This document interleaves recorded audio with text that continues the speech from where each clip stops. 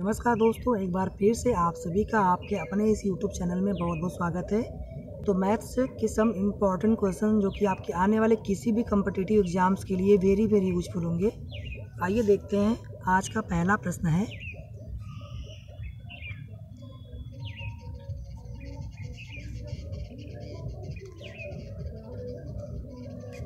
एक निश्चित राशि पर दो वर्षों के लिए बारह प्रतिशत वार्षिक दर से वार्षिक रूप से संयोजित होने वाले साधारण ब्याज और चक्रवृद्धि ब्याज में अंतर बहत्तर रुपये है। दी गई मास राशि का मान रुपए में क्या होगा? आपको दिया गया है चार ऑप्शन। ये प्रश्न आप बड़े आसानी से कर सकते हैं। देख लीजिए कैसे करेंगे। आपको जब भी ये कहा जाए कि दो वर्षों का, ठीक है, किसी भी दर आर प्रतिशत वार्षिक पर। कोई भी ब्याज की दर हो पर चक्रवृद्धि ब्याज और साधारण ब्याज का अंतर।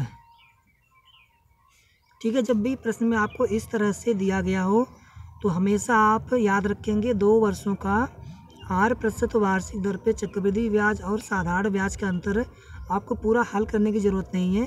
आप डायरेक्ट इसको लिख सकते हैं। पी दर को लिख लीजिए, यहाँ पर आर इसका होल स्क्वायर कर दीजिए और नीचे आप सौ का स्क्वायर कर दीजिए। या इसी को आप लिख दीजिए, इस तरह से पी आर स्क्वायर और यहाँ पे सौ का स्क्वायर करेंगे तो ये हो जाएगा दस हज़ार। जब यहाँ पर तीन वर्षों की बात करेगा तो यही फार्मूला थोड़ा सा और चेंज हो जाता है। आर की जगह, ये घात दो की जगह घात तीन हो जाता है। इसकी भी चर्चा हम आगे करेंगे, ठीक है? नीचे भी सौ के भी घात तीन हो जाता है और थोड़ा सा ऊपर और चेंज होता है तो इसकी चर्चा हम अगले प्रश्न में करेंगे, ठीक है? आगे प्रश्न मिलेगा तो उसमें चर्चा कर देंगे इसकी। तो यहाँ पर आपको इतना पता हो गया। अब देख लीजिए, आपको यही निकालना है मूलधन। तो मूलधन को आप पी रहने दीजिए। दर आपको दिया गया है बारह प्रतिशत वार्षिक दर से। इसका स्क्वायर कर दीजिए, क्योंकि आर का स्क्वायर है। और इसकी अपान हो गया दस हज़ार। और ये अंतर दिया गया है बहत्तर रुपये तो इसको आप लिख लीजिए बहत्तर। ठीक है? तो दो वर्षों का आठ प्रतिशत वार्षिक पर चक्रवृद्धि ब्याज और साधारण ब्याज का अंतर के लिए ये फार्मूला यूज़ करेंगे हमेशा। आपने दर का मान रख लिया, मूलधन आपको निकालना है। हो सकता है कभी आपको मूलधन दिया गया हो, आपको दर का मान निकालना हो। ठीक है? तो P बारह का स्क्वायर करेंगे तो होता है एक सौ चौवालीस। हम बारह का दो का गुणा करके देखेंगे तो वन फोर्टी फोर आएगा। यहाँ देख लीजिए, बहत्तर गुड़े कर देंगे आप दस हज़ार। ठीक है? या P बराबर हो जाएगा। यहाँ देख लीजिए, दस हज़ार का इस पूरे में भाग है, या कह सकते हैं P में भाग है तो इधर जाएगा तो ये बहत्तर में गुड़ा हो जाएगा। फिर यहाँ देख लीजिए, एक सौ चौवालीस, ये ब्रैकेट लगा है, इसका मतलब यहाँ मल्टीप्लाई का निशान चिन्ह होगा।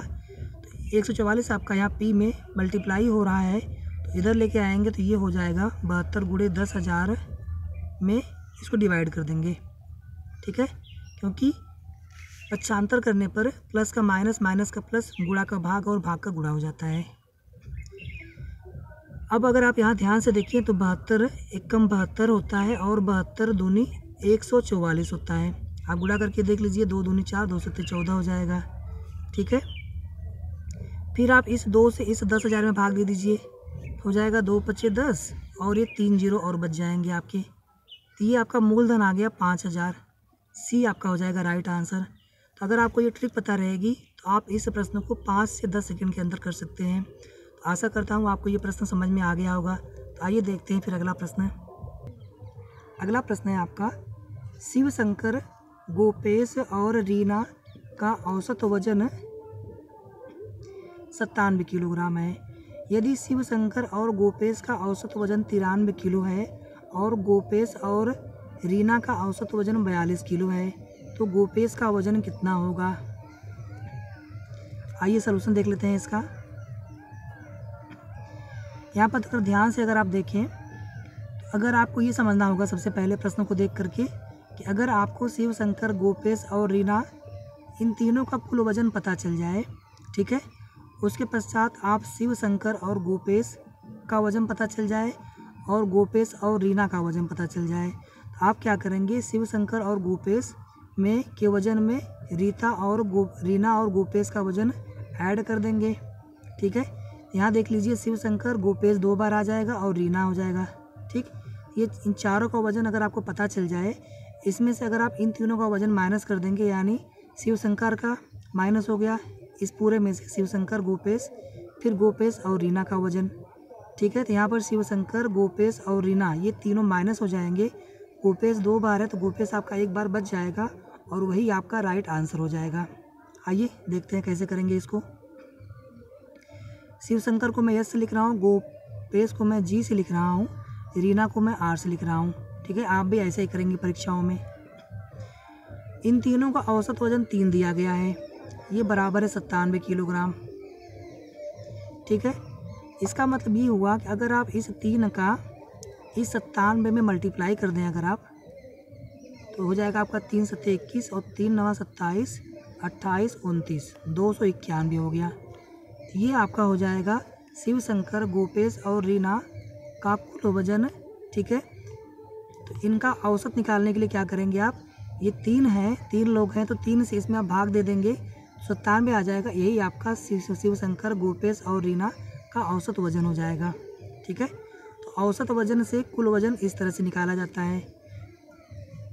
इसी तरह से देख लीजिए आप शिव शंकर और गोपेश का औसत वज़न शिव शंकर और गोपेश का औसत वज़न, ये दो लोग हैं तो आप यहाँ दो से भाग करेंगे। यहाँ तीन लोग थे, आपने तीन से भाग किया था। तीन तिरानवे किलोग्राम है। तो शिव शंकर और गोपेश का कुल वज़न निकालने के लिए आप क्या करेंगे? तिरानवे गुड़े दो कर देंगे। ये आपका हो जाएगा दो तीन छः और दो नवा अट्ठारह ठीक समीकरण दो हो गया आपका। फिर देख लीजिए, गोपेश और रीना का औसत वज़न बयालीस किलोग्राम है। गोपेश प्लस रीना, इनका औसत वज़न यानी दो से भाग कर दीजिए। इन दोनों का वज़न में जोड़ करके दो से भाग करेंगे। ये औसत वज़न आ जाएगा और इसका मान दिया गया है बयालीस किलो। ठीक? तो गोपेश और रीना का कुल वज़न हो जाएगा बयालीस सॉरी, बयासी गुड़े दो दो दूनी चार और दो अट्ठे सोलह। ये हो गया आपका। अब देख लीजिए, समीकरण दो और समीकरण तीन को आपको ऐड करना है, इन दोनों को जोड़ना है। तो कैसे जोड़ते हैं? बाएँ तरफ़ वाले को बाएँ तरफ़ जोड़ देते हैं, दाहिने तरफ़ वाले को दाहिने तरफ़ जोड़ देते हैं। ये आपका हो जाएगा Shiv Shankar plus Gopesh plus Gopesh plus Reena. ठीक है, इसमें आपने इसको जोड़ दिया। दाहिने तरफ़ भी जोड़ दीजिए, इसी तरह से एक सौ छियासी प्लस एक सौ चौंसठ। कितना हो जाएगा? इकाई का इकाई में जोड़ दीजिए छः चार दस हो गया, एक हो गया आपका हासिल। अब इसका दहाई इसके दहाई में जोड़ दीजिए, आठ छः चौदह और एक हासिल हो गया पंद्रह। ठीक है, पुनः आपका एक हासिल प्राप्त हो गया। अब सैकड़ा सैकड़ा जोड़ दीजिए आप। हंड्रेड जो प्लेस है, एक और एक दो हो गया और एक तीन हो गया, तीन सौ पचास हो गया। इसको आप मान लीजिए समीकरण चार। अगर आप समीकरण चार में से समीकरण एक को माइनस कर दें, देख लीजिए यहाँ पे करता हूँ मैं। समीकरण चार को लिख लीजिए पहले आप। तो माइनस भी आप ऐसे ही करते हैं, बाएँ तरफ़ वाले में से बाएँ तरफ़ को माइनस करते हैं, ये वाला हो गया समीकरण एक। और दाहिने तरफ़ में से दाहिने तरफ़ को माइनस करेंगे आप। पहले मैं इसका समीकरण चार का लिखेंगे आप बाएँ तरफ़ वाला मान Shiv Shankar plus Gopesh plus G plus R, ठीक है? इसमें से माइनस करेंगे आप समीकरण एक के लेफ़्ट हैंड साइड को। यहाँ देख लीजिएगा मैं डायरेक्ट कर दे रहा हूँ। अगर आप इसके पहले माइनस करेंगे, ठीक है, ऐसे। S plus G plus R, ठीक है? ये चीज़ यहाँ पे लिखेंगे आप, minus S plus G plus R. तो जब आप माइनस चिन्ह, ये ब्रैकेट को तोड़ेंगे आप तो इन सभी का चिन्ह बदल जाएगा। आप सभी जानते हैं माइनस चिन्ह लगाने से चिन्ह परिवर्तित हो जाते हैं। अभी इन तीनों का चिन्ह प्लस है। इसका चिन्ह, जिसका चिन्ह न दिखाई दे रहा हो आपको, उसका चिन्ह हमेशा प्लस होता है। ठीक है? तो जो संख्या सबसे पहली होते हैं, उसके पहले हम प्लस चिन्ह नहीं लगाते हैं। तो यहाँ पर आपका हो जाएगा minus S, minus G, minus R इन तीनों का चिन्ह परिवर्तित हो गया। अब राइट हैंड साइड देख लीजिए आप। समीकरण चार का राइट हैंड साइड है तीन सौ पचास। इसमें से आप माइनस कर दीजिए समीकरण एक के राइट हैंड साइड को, यानी दो सौ इक्यानवे को माइनस कर दीजिए। यहाँ देख लीजिए शिव शंकर में से शिव शंकर जाएगा कैंसिल आउट हो गया ज़ीरो हो गया। एक गोपेश में से एक गोपेश गया ज़ीरो हो गया। एक रीना में से एक रीना गया ज़ीरो हो गया। आपका बच गया केवल गोपेश और इसका चिन्ह है प्लस आप लिख लेंगे केवल जी ठीक है? प्लस चिन्ह को लिखने की आवश्यकता नहीं है, क्योंकि अकेला ये अक्षर हो गया आपका। यहाँ देख लीजिए आप 350 में से आप दो सौ इक्यावन को माइनस कर दीजिए, या फिर आप डायरेक्टली भी माइनस कर सकते हैं। इसके सैकड़े में से सॉरी इसके इकाई में से, इसको इकाई को माइनस करेंगे। शून्य में से एक नहीं घटेगा, यहाँ से बाहर ले जाएँगे तो यहाँ हो जाएगा चार और यहाँ हो जाएगा दस। जब एक आप यहाँ से बाहर लेंगे, उधार लेंगे। दस में से एक घटेगा तो नौ बच जाएगा यहाँ पर। और चार में से नौ घटेगा नहीं आप पुनः यहाँ से एक उधार लेंगे तो यहाँ बच जाएगा दो और ये हो जाएगा आपका चौदह। ठीक है? अब इसकी ज़रूरत है नहीं। अब चौदह में से नौ घटेगा तो पाँच हो जाएगा। और यहाँ बचा दो दो में से दो घटेगा तो कुछ नहीं बचेगा। यानी गोपेश का वज़न आ गया उनसठ किलो। आप इस तरह से बड़े आसानी से घटा सकते हैं, थोड़ा प्रैक्टिस कर लेंगे तो ये बहुत अच्छा होता है। आपका समय इससे बचेगा। तो इस तरह से अगर आप इस प्रश्न को अच्छे से समझ गए होंगे तो इस प्रश्न को आप 20 से 25 सेकंड में बड़े आसानी से कर सकते हैं। तो आपका यहाँ पे राइट आंसर हो गया सी उनसठ वर्ष। ये गोपेश का, उनसठ किलोग्राम। ये गोपेश का वज़न हो गया। तो आइए देख लेते हैं अगला प्रश्न। अगला प्रश्न है आपका, यदि कोशिक की घाते चार ए माइनस कोशिक का स्क्वायर ए बराबर यक्स हो तो यक्स का मान क्या होगा? आपको चार विकल्प दिए गए हैं। अगर आप विकल्पों में ध्यान से देखें तो टेन या कॉट में ये विकल्प आपको दिखाई देंगे। इसका अर्थ ये हो गया कि कोशिक को हमें टेन या कॉट में जिसमें परिवर्तित हो सकता है, उसमें परिवर्तित कर देना है। आइए देख लीजिए सोल्यूशन आपको दो रिलेशन पता होना चाहिए इस प्रश्न को करने से पहले। ट्रिग्नोमेट्री का एक होता है sec square A minus one is equal to होता है टेन स्क्वायर ए या इसी को आप लिख सकते हैं sec square A is equal to one plus tan square A one को आप इधर लेके आएँगे तो प्लस हो जाएगा टेन स्क्वायर में। एक चीज़ आप और समझ लीजिए यहीं पर कि जैसे मैंने कहा आपसे टेन ए का होल स्क्वायर करिए। ठीक है? तो इसका मान हो जाएगा टेन स्क्वायर ए यानी ये जो स्क्वायर लगा है, ये स्क्वायर टेन पे लगता है, ना कि ए पे लगता है। ठीक है? ए का हम टेन निकाल रहे हैं?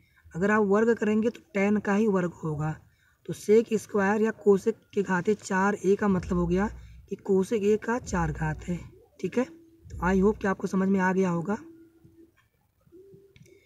इसी तरह से आप लिख सकते हैं cosec square A minus one ये बराबर होता है काट स्क्वायर ए के। या फिर cosec square A is equal to ये बराबर हो जाएगा वन को इधर लेके आएँगे, हो जाएगा one plus cot square A ठीक है? तो ये ट्रिग्नोमेट्री का रिलेशन है, बिल्कुल आपको पता होना चाहिए। अब देख लीजिए यहाँ पर मैं इसको लिख ले रहा हूँ, जो प्रश्न में आपको दिया गया है। कि कोशिक की घाते चार A minus cosec square A ये बराबर है यक्स।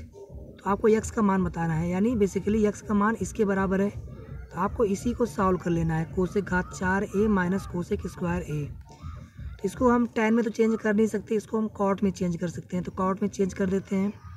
तो कोशिक स्क्वायर ए का मान कितना होता है?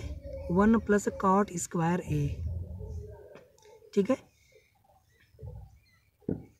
अब देख लीजिए यहाँ कोशिक घात चार ए है माइनस कोशिक स्क्वायर ए है। इसको हम इजीली कैसे कर सकते हैं? ऐसे तो आप अगर करेंगे, इसको कोशिक स्क्वायर, ए लिख के फिर उसका स्क्वायर कर देंगे। फिर आप कोशिक स्क्वायर का मान रख के उसका स्क्वायर करेंगे। काफ़ी लंबा बढ़ जाएगा। आप क्या करेंगे, यहाँ से कोशिक स्क्वायर ए को कॉमन ले लीजिए। ठीक? कोशिक स्क्वायर ए को आप कॉमन ले लीजिए। तो यहाँ बच जाएगा कोशिक स्क्वायर ए। ठीक है? क्योंकि अगर यक्स घात दो हो, इसमें गुणा करेंगे, अब यक्स घात दो से ये बराबर होता है यक्स घात चार। ठीक? तो यहाँ से कोशिक घात चार ए में से इसको आप मान सकते हैं कि ये जो है कोशिक स्क्वायर ए गुड़े कोशिक स्क्वायर ए है। तो आपने एक कोशिक स्क्वायर ए बाहर ले लिया तो आपका बच जाएगा कोशिक स्क्वायर ए। यहाँ बचेगा केवल एक, क्योंकि यहाँ से कोशिक स्क्वायर ए बाहर हो गया। फिर आप कोशिक स्क्वायर ए का गुड़ा करेंगे एक में यहाँ पर आ जाएगा कोशिक स्क्वायर ए। ये बराबर आपका यक्स है। ठीक है? माइनस चिन्ह, यहाँ माइनस चिन्ह लगा दिया आपने। अब देख लीजिए कोशिक स्क्वायर ए का मान कितना होता है? One plus cot square A होता है। आप लिख लीजिए इसको सीधे सीधे one plus cot square A ठीक? और cosec square A minus one की जगह आप क्या लिखेंगे? Cot square A cot square A ये बराबर हो गया यक्स अब इस काट स्क्वायर ए का इसमें गुणा कर दीजिए। यहाँ पर दो पद हैं। पहले पद में गुणा करेंगे। एक में गुणा होगा तो आपका हो जाएगा काट स्क्वायर ए ठीक है? प्लस है तो प्लस लिख लीजिए यहाँ पर। फिर आप इस कॉट स्क्वायर ए का कॉट स्क्वायर ए में गुणा करेंगे। तो ये घात जुड़ जाएँगे। Cot cot cot A cot A समान है। तो इनके घात जुड़ जाएँगे गुणा करने के बाद। तो ये कॉट घाते चार ए हो जाएगा। यानी कॉट ए का फोर पावर है। ये बराबर हो गया यक्स अब यहाँ देख लीजिए आप। ये आपका बी वाला बिल्कुल राइट आंसर हो जाएगा। इसको आप ऐसे भी लिख सकते हैं। कॉट की घाते चार।